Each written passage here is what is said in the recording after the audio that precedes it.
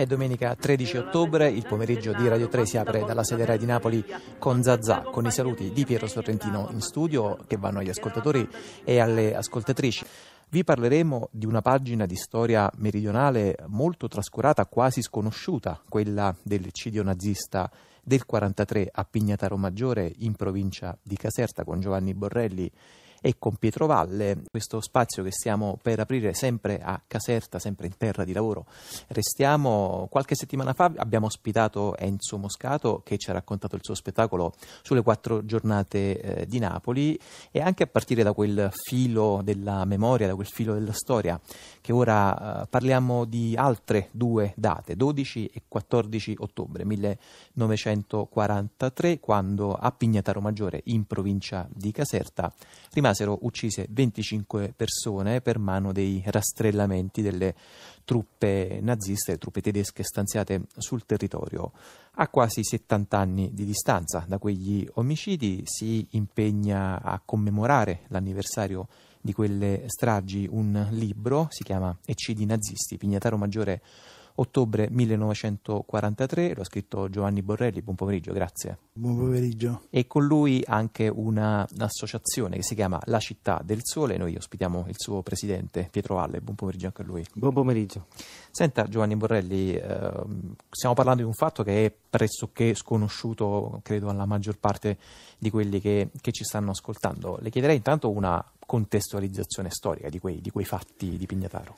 Sì, ehm cioè in effetti questa è una ricerca che si basa sulle testimonianze orali, sulle testimonianze dei parenti delle, delle vittime, quindi abbiamo cercato di ricostruire due stragi sconosciute appunto, in cui vengono coinvolte circa 25 persone il 12 e il 14 ottobre del 1943 e a Pignataro Maggiore in due località, ma precisamente in alcune abitazioni rurali del Contrade Taverna e Arianova di Pignataro Maggiore, appunto in provincia di Caserta. Avvenute queste due stragi, eseguite appunto con una con disumana efferatezza e dicevo mm, hanno coinvolto 20 civili tra uomini, donne, ragazzi e un bambino di pochi mesi e in più queste due stragi poi sono state accompagnate da altri cinque delitti isolati perpetrati proprio nel centro abitato con fredda determinazione dalla Hermann Goering. Senta Borrelli, stragi dovute a che cosa? Quali furono le cause scatenanti? Ecco, eh, qui eh, andiamo diciamo nella, nel, nello specifico.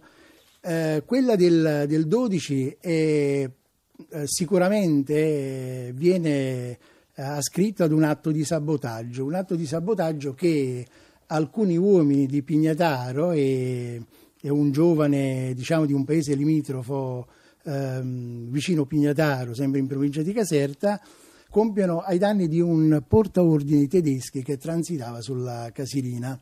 Cioè in effetti eh, località Taverna è proprio posizionata diciamo, a ridosso della, della Casilina. Da qui incominciano tutta una serie di rastrellamenti e l'ordine un tedesco, dieci, dieci italiani.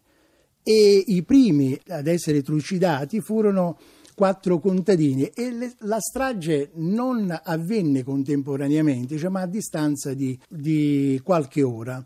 In effetti eh, queste stragi sono state così eh, efferate, così diciamo eh, si sono avute con una violenza ehm, forte che è emblematico il caso di, un, di, uno stalliere che abitava proprio lì vicino quando sono accaduti questi episodi diciamo, del sabotaggio del, del, del portaordine tedesco.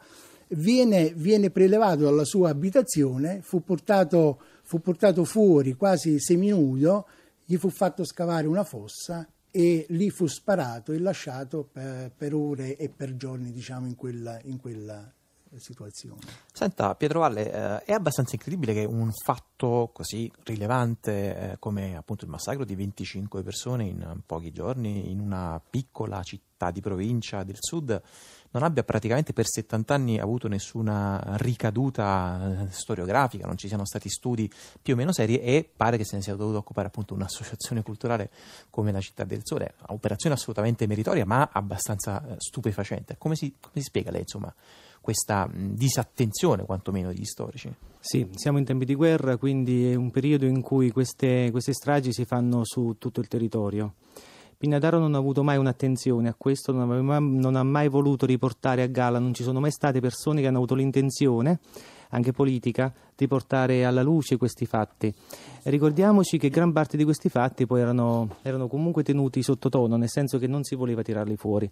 Eh, è vero che i tedeschi avevano, avevano fatto stragi, ma era anche vero quello che avevano fatto gli americani. Quindi in cambio io non parlo delle tue, tu non parli delle mie. E quindi questo è durato per tanto, per tanto tempo.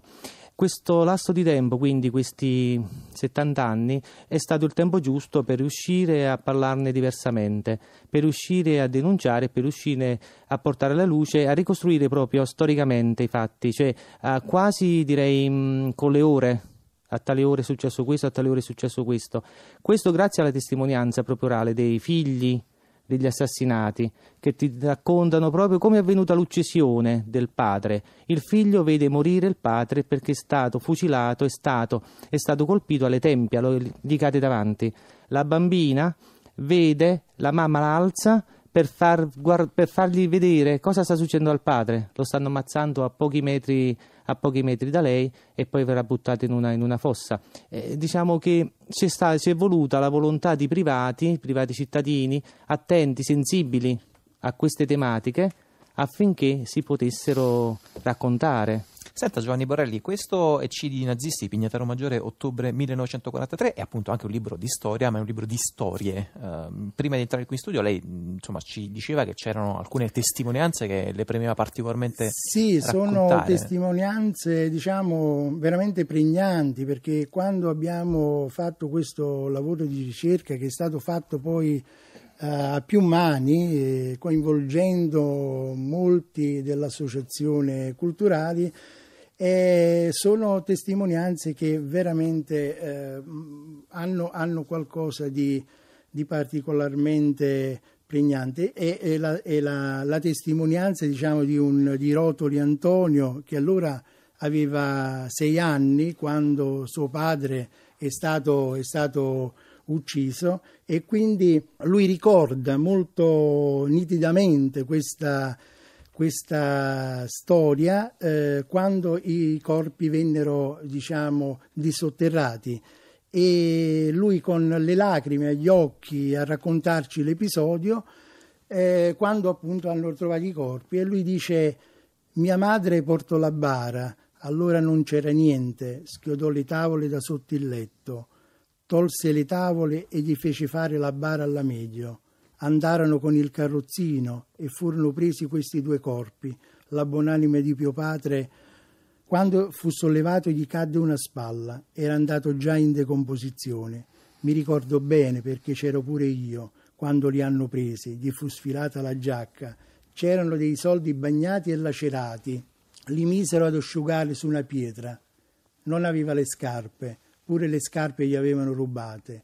Vicino questo cistigliuccio un'immagine che non dimenticherò mai, mio padre colpito alla fronte riverso così, proprio un'esecuzione. Pagine assolutamente eh, terribili. A proposito di memoria e a proposito di testimonianza, siamo a pochi giorni dalla data del 16 ottobre 1943, appunto la data che eh, segnò la retata nazista nel ghetto di Roma, che si concluse con la deportazione di oltre mille ebrei, tra l'altro un 16 ottobre 1943 eh, raccontato in pagine veramente brucianti da Giacomo eh, De Benedetti. A questo proposito Radio 3 seguirà naturalmente con una giornata ricca di eh, interventi eh, storici, ma soprattutto con uno sguardo appunto molto approfondito. Noi lo facciamo, proviamo a lanciare questa giornata lanciando il prossimo ciclo che comincia domani di Ad alta voce. Eh, vi facciamo sentire l'incipit di 16 ottobre 1943 nelle parole, nella voce di Monio Vadia. Una strana figura sulla quale si vorrebbero avere i più ampi ragguagli appare l'11 ottobre nei locali della comunità accompagnato anche lui da una scorta di SS. Al vederlo si direbbe un ufficiale tedesco come tutti gli altri, con quel più di arroganza che gli dà l'appartenere a una specialità privilegiata e tristemente famosa. Tutto divisa, anche lui, dalla testa ai piedi, quella divisa attillata di un'eleganza schizzinosa, astratta e implacabile, che inguaina la persona, il fisico, ma anche e soprattutto il morale, con un ermetismo da chiusura lampo. È la parola verboten tradotta in uniforme, proibito l'accesso all'uomo e all'individuale passato che vive in lui, che è la sua storia e la sua più vera specialità di creatura di questo mondo. Proibito vedere altro che questo suo presente, rigoroso, automatico, intransigentemente reciso. E questa era la voce di Moni Ovadia che leggeva da 16 ottobre 1943 di Giacomo De Benedetti il nuovo ciclo di Ad alta voce che comincia qui eh, su Radio 3 eh, domani. Gli eccidi nazisti di Pignataro Maggiore sono raccontati nel libro di Giovanni Borrelli, lo ha sostenuto l'associazione La Città del Sole presieduta da Pietro Valle. Io ringrazio davvero molto tutti e due per questa testimonianza. Grazie.